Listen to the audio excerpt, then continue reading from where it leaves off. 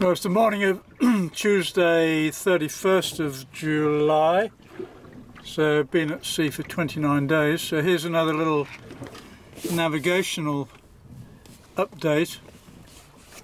Uh, this is the, the islands again of um, Victoria and Kvitoya, which we came past, and we were coming nicely to the southwest, uh, but the wind has uh, backed and we're in a position where we were sailing due south very nicely.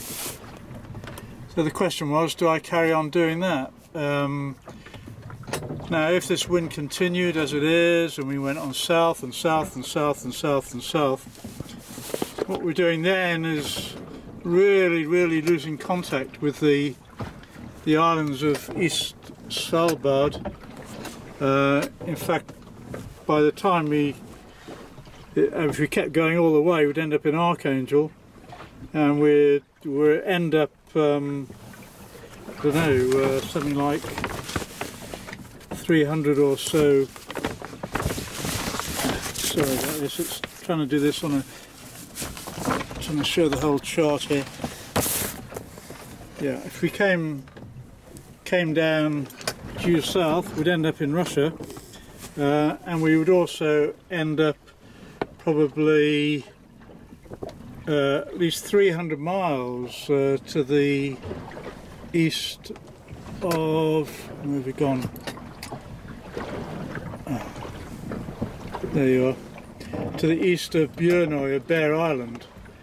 Um, so um, I don't want to end up way, way in the middle of the Barents Sea, in the middle of nowhere. I want to keep contact with um, with these islands uh, on uh, of eastern Svalbard, and also keep some westing. I've got to go west eventually. I can't just go south forever and ever. So what I've done, come back to where we started. We got down to around about here. Um, so I've taken the decision to tack. So we're now heading um, a little bit uh, north of west, almost back up uh, towards Kvitoya. And if we kept going, we'd be there in about a, a day or so, and that's fine. Um, uh, but the point is, it brings us back um, into the ambit of these islands, and then if the wind held, if I come south again, then here's Kong Karls Land and so on and so forth. Um, so I took the decision it's best to tack early, even though it feels a bit strange to be heading slightly north again. I'd rather do that now uh, than later. And this is always the navigational problem. To what extent do you sail for the wind you've got? Or to what extent do you rely on a change in the wind which is going to bring you back where you want to be? Um, well, I think generally you have to sail for the wind you've got. Um, you can't assume it's going to change and southwesterlies can blow for a week easily. Um, and if I don't get in west fairly soon, by the time I want to make my westing, there's absolutely nothing interesting uh, at all down in the middle of the Barents Sea here. Uh, so that's where we're at. Sorry, that was not a very um, good uh, a clip from a filmic point of view. Um, but there we are. Just just want to update you with my thinking and where we are and where we're doing. So we're heading we're heading back uh, west and slightly north to get back basically into the into the Svalbard Islands. Well, here we are, lazy Tuesday afternoon inside Mingming 2's cabin. Getting a bit quieter as I think the wind is easing away slowly. This wind which has been heading us for a while. We're now only about 12 13 miles south of Victoria Island, the lone western outpost of the Franz Josef Land and we're about 30 miles from Kvitoya, White Island, which is the easternmost of the Svalbard group. And I suppose it was a beautiful clear day out there, we would probably be able to see both of them. But if we come to the hatch,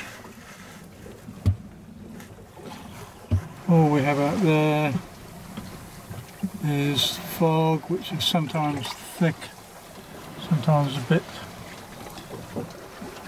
bit thinner, fairly thick at the moment. Fog, no hint of sunshine and of course pretty much zero visibility. But we live in hope.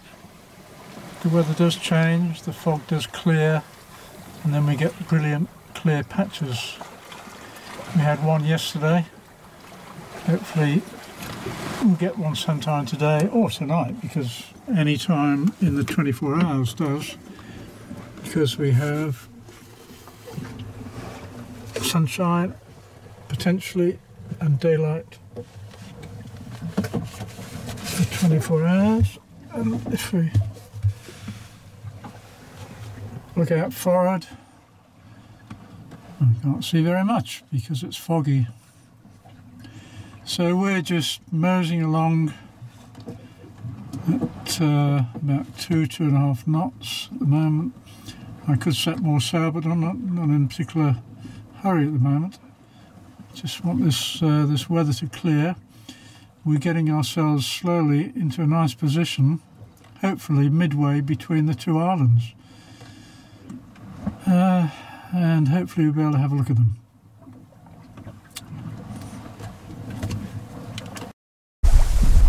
Well, it's getting very tense here aboard Mingming 2 because the fog is clearing. The bank of fog is moving away to the north up there. See over there some patches of blue sky appearing. A little bit.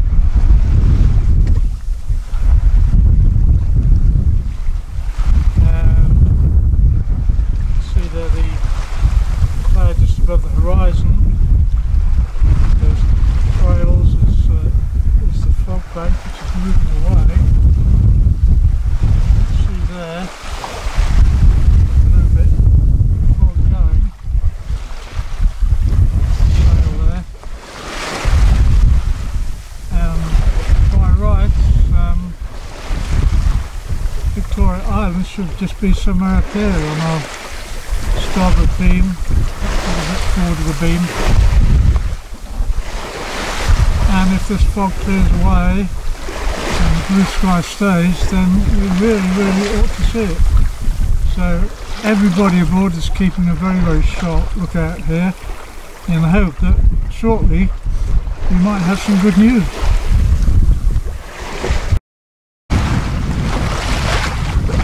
well this is amazing the island of Victoria um, has evaded us in the murk but not Kvitoya, White Island. I've been watching this patch in the sky for a while and I've suddenly realised what it is as we got closer. It's ice glare and if I zoom in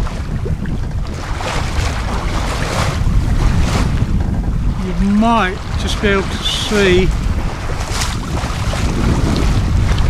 the curve of the of the glacier underneath that patch. We're a bit far away and we're going to go a bit closer.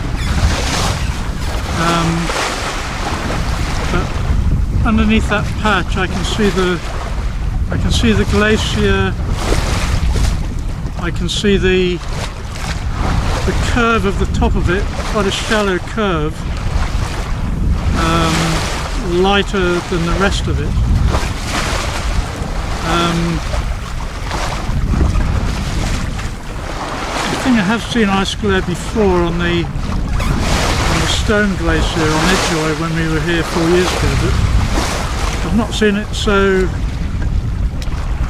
strikingly here because the rest of the sky is so dark. It's been such a miserable dark evening. Come back again. You can just see it's it's just incredible and it's uh, this bright illuminated path whereas everywhere else is grey, murky, not a sign of the sun. But over here this uh, reflected light off the, off the top of the glacier. I can assure you I'm absolutely delighted because I've put in a, a long long board here, a long long tack, uh, uh, four o'clock this morning I went about and it, to tack northwest just to see if we could see this island um, and it's about uh, half past 10, 11 o'clock at night. So we've been at it for nearly 20 hours without any guarantee that we were going to get anything from it. But I'm just so elated to finally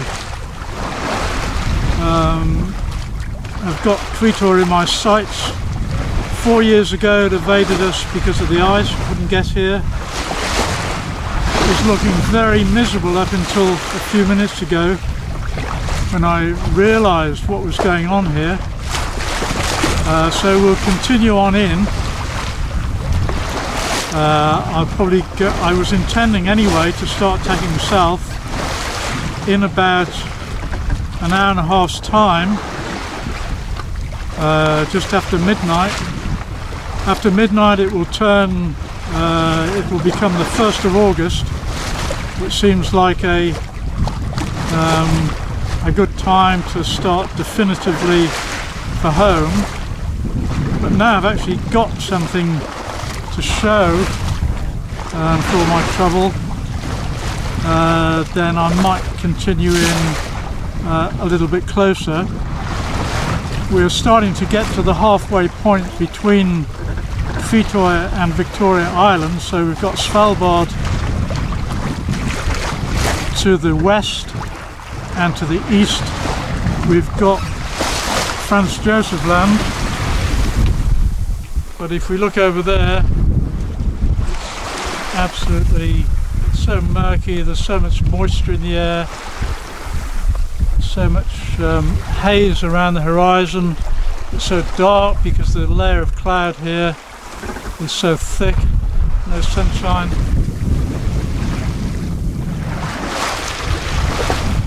there, on the port bow, is the ice glare of Kvitøy, White Island. This island is just total glacier apart from one tiny little rocky headland on the other side, on the northwest side. Um, reminds me I need to be a little bit careful because there might be some stray bits of ice dropping off it because it's got ice cliffs all around. Anyway, there we are. I'll just zoom in one more time. As I say, I have no idea whether on the on the video you can yeah I can see it on the screen that curve very shallow curve um, of the top of the glacier you can just make it out there